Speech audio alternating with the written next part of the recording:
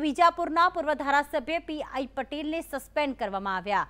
વિજાપુર એપીએમસીમાં ઉમેદવારી કરાતા કાર્યવાહી સુરેશ પટેલને પણ પક્ષમાંથી સસ્પેન્ડ કરાયા. વિજાપુરના પૂર્વ ધારાસભ્ય પીઆઈ પટેલને પક્ષમાંથી નોટિસ આપવામાં આવી.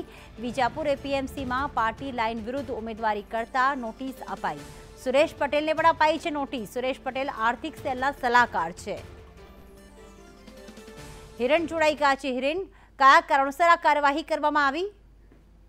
વિજાપુર એપીએમસીની ચૂંટણીમાં પાર્ટી લાઇનથી વિરુદ્ધ જઈ અને ભાજપના ઉમેદવારની વિરુદ્ધમાં આ બંને લોકો, એટલે કે વિજાપુરના પૂર્વ ધારાસભ્ય પીઆઈ પટેલ અને સુરેશ પટેલ, કે જેઓ મહેસાણા જિલ્લાના આર્થિક સેલના તેઓ સંયોજક છે, આ બંને લોકોએ વિજાપુર એપીએમસીમાં અપક્ષ ઉમેદવારી નોંધાવી હતી. એને ધ્યાનમાં રાખી બંનેને ભાજપમાંથી પ્રાથમિક સભ્યપદેથી સસ્પેન્ડ કરાયા છે. આભાર હિરેન, તમામ વિગતો માટે.